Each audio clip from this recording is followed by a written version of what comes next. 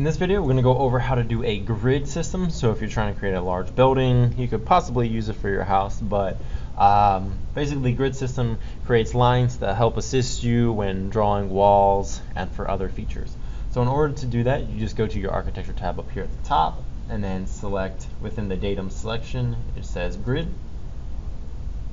so when you start a grid, first thing in your properties, uh, you can choose like three options here for the bubble type. I'm just going to go with the standard regular bubble. And then when you go to edit type, there's a couple things in here as well. So like center segment, you can change the color, um, segment weight. Um, in most cases, you're not going to change any of these, but it's a good thing to know that they are here just in case, let's say in the certification test, it asks you to change one of these. I'm just going to exit out of there. And then in order to create a grid, you have your draw tools, your line segment, um, arcs, couple there as well. So I'm going to just left click, drag it straight down, and then click again. That's going to place one grid. And then you can use your modify tools to copy, offset, whatever it is that you need to do. But in this case, I'm just going to manually draw it. So let's say I'm going to go 20 feet, click and drag it down again and you'll see the dotted blue lines appear to help you as far as making sure everything is aligned. So I'll do like say another 20 feet. I'll just do three. And then if I want to make a horizontal, I just come up here, do the exact same thing, click and drag, click and drag.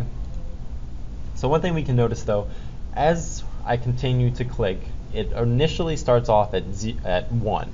So the first grid line is one, two, three, and it's going to continue to count up um, as many that you place. So let's say for some reason you don't like a bunch of numbers, maybe the vertical grids you want to be letters. So one thing you can do is simply just left click on the grid and then click on where the, the number or letter is and you can go ahead and change what it is.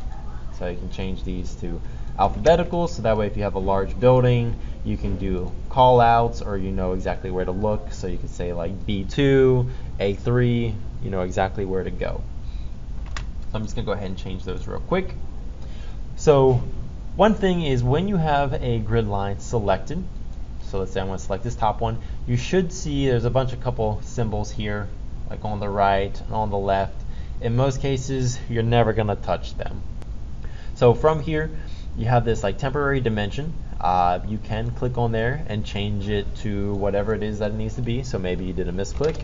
We can type in 30 feet and it will adjust it. Okay. Um, if you select, let's say the middle one is going to give you the distance or the dimension to the next parallel line going up and then the next parallel parallel line going down. Uh, the same thing works for the vertical lines. It will tell you what that distance is. Okay, um, but basically the grid lines, again, like I said, can help you with walls. So let's say if I jump the wall here real quick, you're gonna see that you, you can snap to the line. So let's say maybe I went from middle and I wanted to go to middle, come back up here to the top and across.